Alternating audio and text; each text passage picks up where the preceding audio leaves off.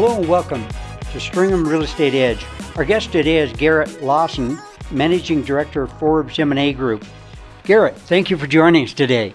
Happy to, Garry. Thanks for the Uh, invitation. tell us, tell us about Forbes and what what does Forbes do? You, you're not part of the uh, of the magazine group, right? No, just kind of a happy coincidence that uh, Bob Forbes, who founded and, and is the president of the Forbes M&A Group, shares that name with with Steve Forbes, but not uh, not related. Um, the Forbes M&A Group is a is a boutique investment bank and uh, headquartered in Denver. We have offices here in Salt Lake City as well as in Nashville, and we are um, an investment bank that works with entrepreneurial and family-owned businesses, primarily helping them sell when they're ready to sell, either a full or partial sale.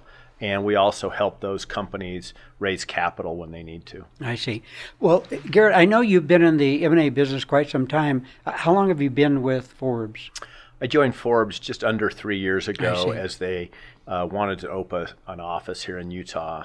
And so was introduced to them. And so I've been with them just about three years. I see. And this is their first out-of-state office. It is, yeah.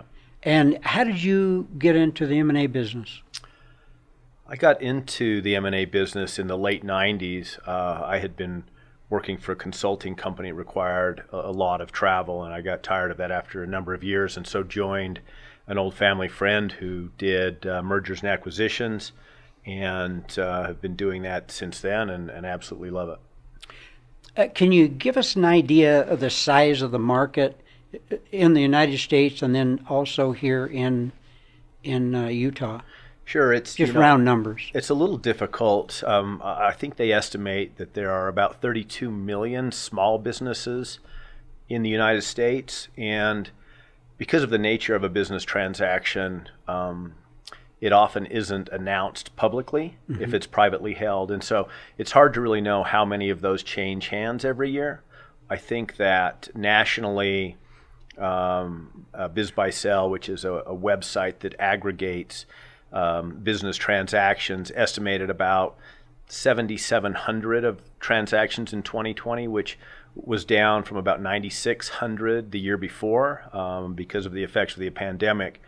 Um, but those are only the ones that rep- are reported, and there are probably many more that change hands. But there isn't a good um, data source to estimate exactly how many businesses sell in any given year. And how about Utah? The same kind of kind of Same kind of, of thing. Very hard to very hard to determine. Sure. Uh, oftentimes, when a business sells, there is not a public announcement. Uh, they don't make the terms of those sales uh, public, and so very hard to estimate that. Are, are there other M&A companies or business brokers here in the Salt Lake area There are. that are, would in effect be competitors? Yes, and and um, uh, I, I think it's it's probably good to distinguish between what um, a general business brokerage might do and what uh, a, a, an investment bank uh, might do, and and um, primarily with the sale of businesses that might sell for less than ten million dollars, you would likely have a business broker who um, would be involved in that transaction. Transactions that are larger than that um, would generally be um, handled by an investment bank. And so, uh, within the state of Utah, there are a number of uh, business brokerages, some of whom are associated with uh, commercial real estate companies who uh, have a group who may focus on the sale of businesses uh, along with, with real property. And uh, do you do both? Do you do M&A as well as business brokerage? Now we focus exclusively on transactions that would be m- most often larger than what a business broker might work on. Okay. And what sort of licensing is required for you and or your your company? Uh, we're licensed um, uh, uh, through the SEC, uh, so we have securities licenses that um, Which would allow you to sell stock. Which allow us to sell stock. It allows us to, to raise capital, uh, to sell minority positions in a company. And um, that could be in the midst uh, of, of changing, but, uh, but right now, those kinds of transactions require being securities licensed. Uh, in the state of Utah, to sell a small business, if you're selling the assets of that business, uh, unless something has changed over the last couple of years, there's not any kind of particular licensing required, okay. unless there is some form of of real estate that might be involved, and and, and that can happen fairly often.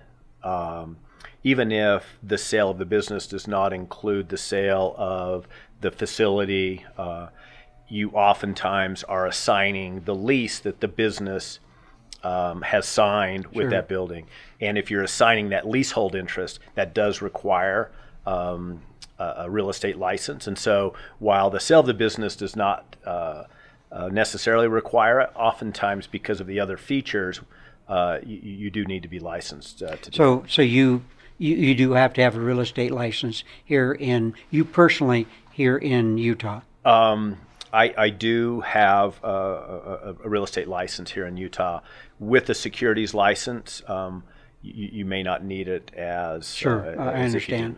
right. As you said, generally there is real estate in some form, whether it's it's actual building and land or a, a lease. Right. And and again, just kind of confirm right. that necessitates the requirement of having a license a real estate license. That's correct. Do you represent the buy side or the sell side or both sides? Um, my um, my firm now primarily represents the sell side, and I historically have have um, have represented the sellers. There are times when uh, we would do some buy side representation, but, mm-hmm. but primarily um, the sell side, and there are a number of reasons for that. Sure. But um, there certainly isn't any licensing or any real difference between that. It's really a, a function of um, of a of a choice of, sure. of where to. So that's just the choice of, of your your company, and so other M and A or business brokers may have the opposite approach. They may prefer to represent the the buy side. That's just an individual business decision. That's right. Yeah, that's right. Uh, how do you go about finding companies that are interested in selling? It seems like that's sort of a sort of a confidential. You wouldn't you wouldn't necessarily want to let that information out publicly for obvious yeah. reasons. Yeah, it's a great point, and I think because of that, uh, most of my clients come to me through referrals, and those referrals are usually through their trusted advisors. Mm-hmm. Um, these are their accountants, their attorneys, their financial and wealth advisors, um, sure. business consultants, uh, people with whom they have an established relationship, whom they trust, and would be the first individuals that they might talk to when they're considering the sale of their business. And since generally those professionals aren't involved in, in brokering those transactions, they then reach out to a business broker or an M&A professional to represent the, represent their clients. And so most of uh, my clients come from referrals from these kinds of individuals, from my previous clients. Um, there are times, however, when we may target certain industries and then we would do uh, direct uh, marketing to business owners that fit certain criteria based on size and geography and, and industry. Mm-hmm. Uh, but more often than not, they, the, they come through referrals. Sure. I, I'm kind of curious, how or why did Forbes M&A Group decide to come to Utah as their first venture? Obviously, that's where you were. That's mm-hmm. where your your expertise is. But uh, was that the the primary motive, or what were some of the other considerations in making that decision? Yeah, it's a good question. I, I think um, one of the initial um, reasons was that the folks at Forbes wanted to make their first entry outside of Colorado uh, in a in a geographically uh, close uh, state, and mm-hmm. so they considered a number of different markets, all within, say, an hour to two flight from Denver. Uh, obviously, Salt Lake being one of them, but they looked at other markets, and I think as they began to look at those markets, they began to see that I think that Salt Lake and Utah, in in general, have been underserved in terms of uh, investment bank uh, here, and I think that's because historically, just the size of this market has been smaller, and it hasn't warranted um, some of the larger banks setting up offices. And so when they would handle transactions, they would just fly in from the coast. And sure. so um, I think Utah, Salt Lake in particular, has been uh, while there are some other investment banks in town, have been historically underserved, and given the growth of the market, the the strong entrepreneurial spirit here, the market is maturing and, and warranted um, that, and so it seemed like a great idea. Sure. Uh, opportunity. Just a natural extension, of, of course. Very It similar cultures and, and business environments to, to Colorado as well. So Is there a lot of competition here in town? Uh, do you know offhand how many other companies like yours are operating in or around Salt Lake? yeah, I would say there are probably four or five others. Oh, really? Not Yep. not many then. Not very many. No.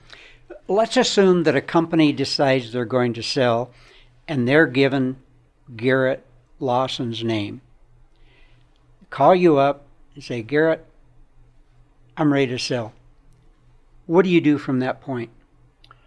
The first thing we do is we um, under, try to understand their uh, their goals and their company to um, make sure that what they're looking to accomplish is something that we feel like is attainable and realistic, and that it's something that uh, we focus on. And so we ask a lot of questions uh, primarily and understand their company, uh, what stage their company's in, how it's doing, understand the goals of the of the owner, and try to get a good understanding so that we can determine whether we're a good fit, and um, and then we move to more detailed um, investigation into the company to understand its financial and operational profile, uh, because um, and that is really in order to give the owner some sense of what we believe the value of the company might be in the marketplace. Um, and so that requires uh, going through the financials, doing some analysis, doing some valuation work, and important to understand uh, our clients' goals and their valuation expectations as it relates to what their business may be worth in the marketplace to make sure that we think it's uh, achievable. Roughly, how long would it take you to complete that due diligence? Is it just a matter of hours, or is it a matter of days or weeks? It's or? it's typically um, a matter of days and maybe a couple weeks. Again, depending on uh, how organized and available the the financials and the other information we need to do that. Uh, if that's readily available, that can be done in, in, a, in a matter of days. Oftentimes, it takes a little work potentially with their accounting uh, accounting uh, function to get those in the kind of shape that we need. Uh, once you once you've decided that that's a, a client you're willing to take on, they have decided that they're committed to selling and that you're the the company to do that. Then what's the next step? I, I presume a, listing agreement, a contract is is agreed the- to. an engagement agreement or a listing agreement uh, is, is put in place, and that outlines the length, the, the fees involved, the kind of process that we'll go through. Once that agreement is in place, then we begin preparing the kinds of materials that we need to go to the market, uh, looking at who are the potential buyers in, in out there. Are they within the industry? Are they private equity or other financial kinds of institutions that, that specialize in buying Sure. businesses? And we prepare a confidential information memorandum, which is a document that once a, a buyer expresses interest confidentially and has signed a non-disclosure agreement, we will give them that, that outlines the basics about about the business. And so all of those materials have to be prepared before you go out and and uh, approach the market. It sounds like that's a real challenge. On on one hand, you have to respect confidentiality. Uh, on the other hand, it's not like you can uh, just put a an ad in the paper or on the internet saying ABC business is for sale. So how do you go about identifying potential buyers to even start that discussion? Yeah, it's a very very good question, and, and you're right. It, it really is a a fine line between giving enough information about a business opportunity so that someone can identify that as being something they're interested in, and giving too much that they can then identify which particular business you're talking about. And business owners um, generally are not interested in having their customers and their competitors and their Of course. employees understand they're thinking about that. And so it is um, it is difficult. There are a number of different ways. That I, I think the primary way is the creation of uh, what is essentially a blind executive summary, uh, a, a one-page document that's often called a teaser, and it has generic information about the, the business, and and that can be. Um, you know, a, a, a, location within a state or within the United States without being too specific. Uh, some general description, some, some high level financial information. That document then is provided to parties who might have an interest. And if based on that information, um, they still seem interested and they can demonstrate that they have an, uh, the available capital to do mm-hmm. a transaction of that size, then we have them sign a non disclosure agreement, which then uh, prevents them from sharing any information that we give them sure. about the business to anyone who, who is not involved in their decision making process. So I, it sounds as though you have identified potential buyers which you will approach versus them coming to you. So that I guess assumes that you have done a some type of due diligence or review of this company or individual to confirm that they have the, the wherewithal to make a purchase or investment of this nature. Uh, that, that's true, that, and that and has to be kind of kind of challenging at times, isn't it? To it uh, is, and, and, and the larger my clients are. Um, the easier it is to identify those prospective purchasers. Oftentimes, on the sale of a small business, it isn't possible to necessarily identify all the potential acquirers because oftentimes it's another individual that will be buying their business. Mm-hmm. And in that instance, there is another way to advertise that possibility, that, that, that opportunity. And that's typically done through um, various um, what we call deal aggregators, which are essentially websites that you can pay to um, put your business listing on that then uh, if someone is interested in buying a business, they can go to this website and search the data by industry and by size and mm-hmm. by geography, and then they would find uh, you, uh, and then you would go through that same process. Uh, if you're selling a larger business, oftentimes um, it's easier to identify who the prospective buyers are, and then you're able to reach out to them rather than than them finding you. I see do you specifically uh, look for in-state buyers, or are you willing to go wherever the wherever the market is?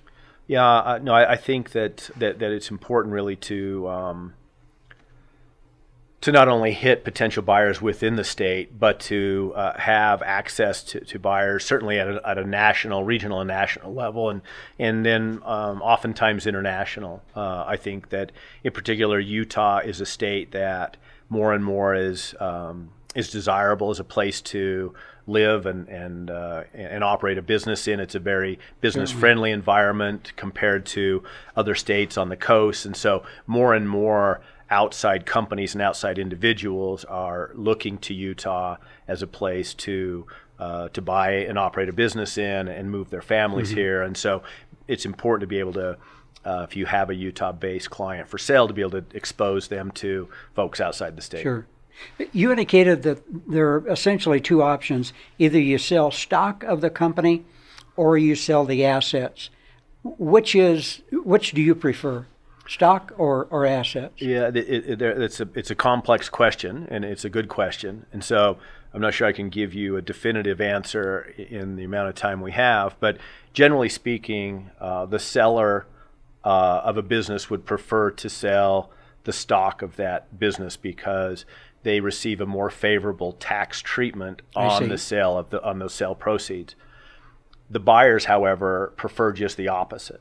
They ah. receive ah a more favorable tax treatment if they buy the assets of a company because they're able to get a step up in their basis based on the purchase price of those assets rather than the current book value mm-hmm. uh, that, that the seller uh, would have. And so there is a negotiation in almost every instance uh, between the buyer and the seller on that fa- on that feature. And so um, I, I, would say that more often than not, um, and there are some legal reasons as well as why the buyer would mm-hmm. prefer mm-hmm. to buy assets. And so I would say more often than not, this, those transactions happen as an asset sale. Um, Is that simply because it's easier? It's less less costly. It, it, it isn't necessarily less costly in terms of doing a transaction, but um, um, because of the reasons that buyers prefer to do asset sales, um, generally that's what happens. And so oftentimes, if it's a stock sale, it may be because the seller has contracts in place that would be hard to assign I if see. someone didn't buy that entity. Um, and so while it, it- a meaningfully amount of time a stock sale does happen, I would say the majority of those instances are asset sales. What kind of industries do you deal with generally?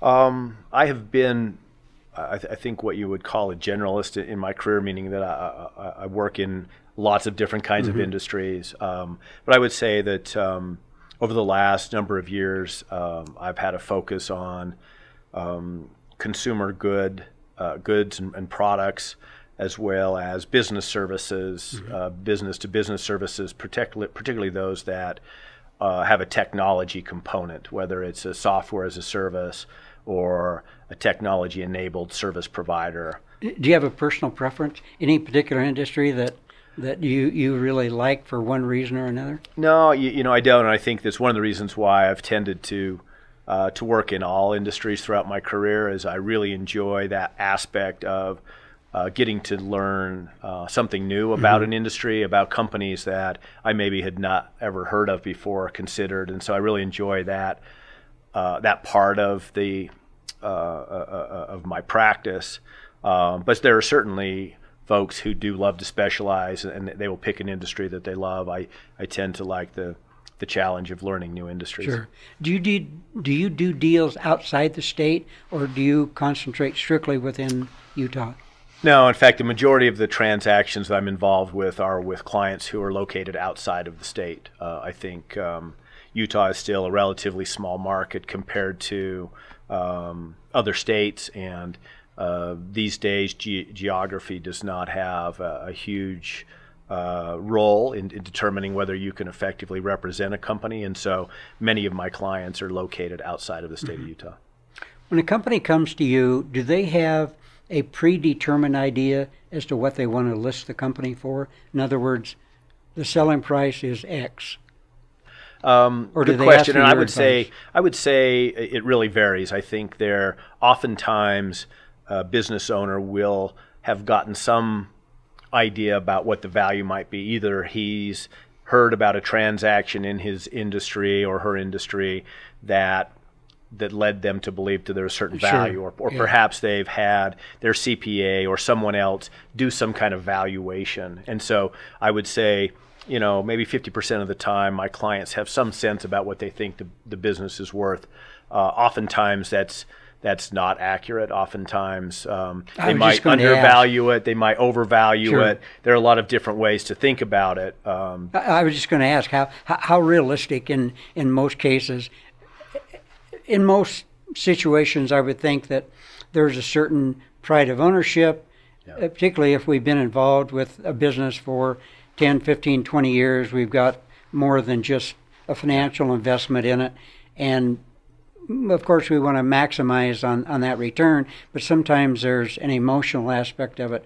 Is that does that present a challenge? Uh, Yeah, you're exactly right. I think more often than not, business owners think their businesses are worth more than they are, and, Ah. and that is because of they oftentimes have put you know that often represents their life's work, and and there is an emotional tie, and they have.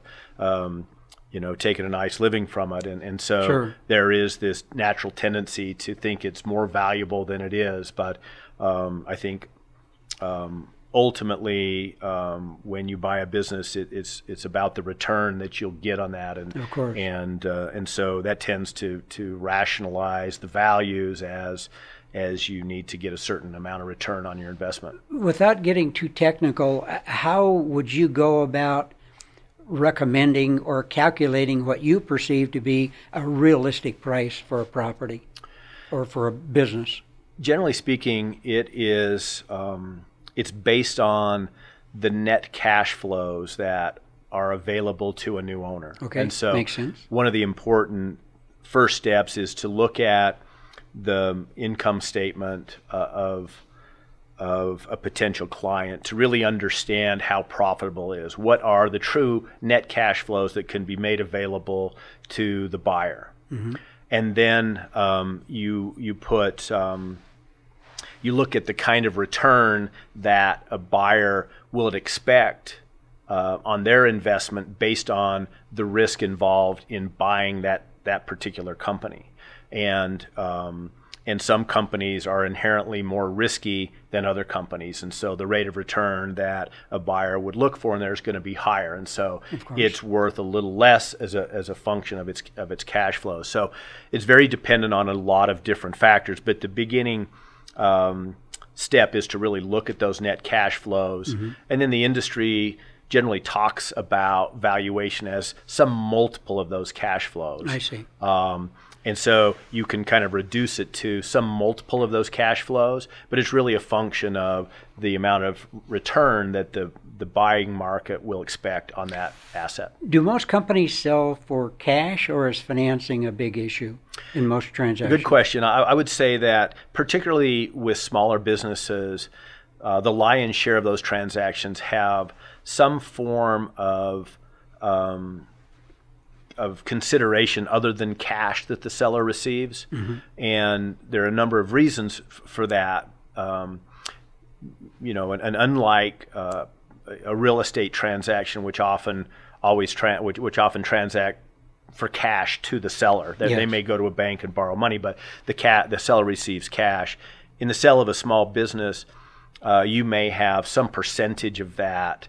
Uh, that the seller receives in a note that they're providing to So the seller buyer. seller carry seller carry back. Do you get involved in assisting the buyer coming up with, with capital with uh, financing a, a business? Uh, oh, more limited, probably just to the extent of uh, potentially re- referring lending sources to them, whether that's a bank who works with the SBA, who is one of the primary lenders on, on, on business transactions. Um, generally speaking, um, other than that, and, and providing them the information they need to go to the bank, uh, we don't get that involved in the buyer's uh, financing. Uh, Well, we have time for, for a couple more questions. Uh, uh, the first one is How has technology changed your business over the last few years? technology's had a, a, a, a big um, role in, in my business, and it's it's getting bigger and bigger, and um, and that um, you know one one obvious way is that as a buyer is really doing their thorough due diligence about uh, my clients in the past you had to set up a physical room where you have all of the printed uh, materials that they would come and, and spend hours uh, going through Sure. those. Now there are virtual data rooms where the documents are uploaded and buyers can just access them online. And so that's been something that's that's happened over the last 10 or 15 years. But also there are more and more uh, service providers out there that allow information about a client to be shared with the marketplace um, in ways that it never could before, and and uh, it streamlines the process. It makes the opportunities available to to more uh, eyes or, or, uh, eyes of buyers, both nationally and, and internationally. And so, um, technology continues to have a, a big role. What's the most unusual business you've ever been asked to sell? You know, it's a good question. I I would say one of them uh, was a business that I sold a number of years ago that um, was a, a a pet cremation business, and so Really? uh, someone that is someone's pet dies, and um, they would work with the veterinarians who generally are, are, are the first line of those, and then they would help dispose of those those uh, obviously of those pets. And and while it seems a, a, a grisly and maybe unsavory business, it's very necessary service and. Um, Successfully sold it? very successfully sold it. It's a very strong, very profitable industry. Interesting. And I think it's it's often those unsexy businesses that are the most interesting and most profitable. Hmm. Oftentimes, when you think about selling a business, people think of obvious uh, businesses, Sure. and, and oftentimes they aren't as profitable and, and ultimately as desirable as businesses that you may have never considered. And so, uh, those kinds of businesses that fill a very distinct niche uh, are interesting and, and they're unusual, but they can be great businesses to own. Uh, ask you to put your uh, your forecasting hat on for a minute. What do you see uh, 2021 being? Good year, mediocre year, or extremely strong year? I think it's going to be somewhere between mediocre and extremely strong. Um, as I mentioned, business transactions as a as a number uh, were down uh, in 2020 than over uh, uh 2019 by about 12 percent, and mm-hmm. that was really because of you know the effects of the pandemic in, in the in the late first quarter, second quarter.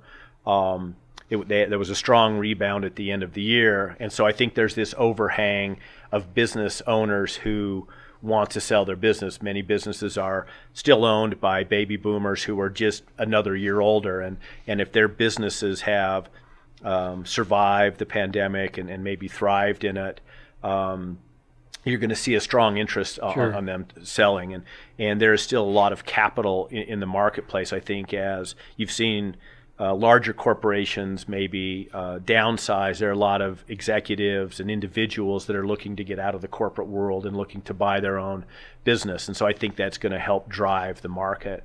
Uh, I also think with the change in administration, there's uh, a sentiment that perhaps not in 2021, but that in 2022, capital gains tax rates will will rise um, under the new administration. And so I have clients that are interested in selling this year, so that the the, the way they're taxed on that transaction will be at what is expected to be a lower rate mm-hmm. than potentially next year. So I think all of those factors are going to mean that 2021 should be a pretty vibrant year to, to sell a business. And that concludes today's program. Thanks to our guest Garit Lawson, Managing Director Forbes M&A Group. Today's program is brought to you by Stringham Schools, an ambition company educating real estate professionals since 1989. Visit stringhamschools.com for more information. And don't forget to tell us what you think about the program in the comments section below. I'm Garry Barnes. I'll see you next time on Stringham Real Estate Edge.